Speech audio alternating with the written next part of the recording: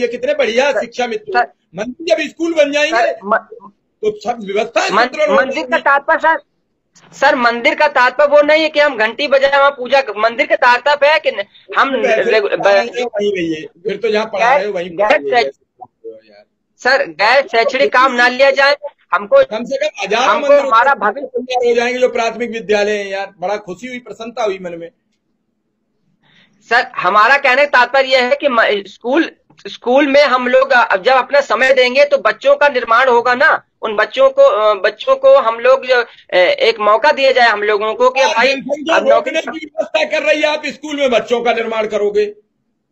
सरकार रोकना चाह रही है बच्चे कम पैदा हो आप स्कूल में भी बच्चों का निर्माण करोगे। बताइए कैसे काम चलेगा? आप देखिए देश बच्चों का अच्छी शिक्षा का निर्माण करिए स्कूल को शिक्षा का मंदिर बनाइए।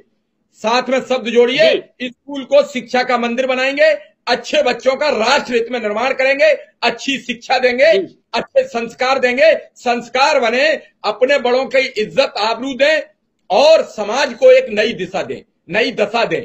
बहुत ज़रूरी है एक नए शिक्षा परक समाज की। मैं आऊँगा दिनेश बाबू दोबारा आपके पास तब आपकी फिर बात सुनूँगा। मैं सीधा हमारे साथ आदरणीय सुरेंद्र दुबई जुड़ चुके हैं। मैं उनका स्वागत करता हूँ और अभिनंदन करता हूँ। उनसे सवाल करता हूँ। चाचा नेहरू का आज जन्मदिन था, बाल दिवस था। और बाल दिवस पर सबसे इंपॉर्टेंट है उन बच्चों की बात सुनना। और बच्चों की बात सुनने वाले भूखे पेट रहेंगे तो बच्चों की बात कौन सुनेगा? आप ठीक कह रहे हैं। चाचा शब्द वैसे भी हमारे यहाँ बड़ा प्यारा है, क्योंकि तो बात के इक्वलेंट है। और इसीलिए नेहरू जी का जब जन्मदिन में आ गया तो उसको चाचा नेहरू उनको एक टाइटल दिया गया। वो मुझे लगता किसी राजनेता को चाचा का टाइटल आज तक नहीं मिला। चाचा माने एक तो भगवान का टाइटल मिल चुका है और उससे बड़ी कोई बात नहीं होती है। बाप भगवान का राम है। आप सिर्फ़ मोदी विरोध की बात करते हो कभी हमारे मोदी जी की तारीफ़ नहीं करते मन से। कि उन्हें भगवान का मिल तो- विष्णु का मिल चुका श्री राम का मिल चुका।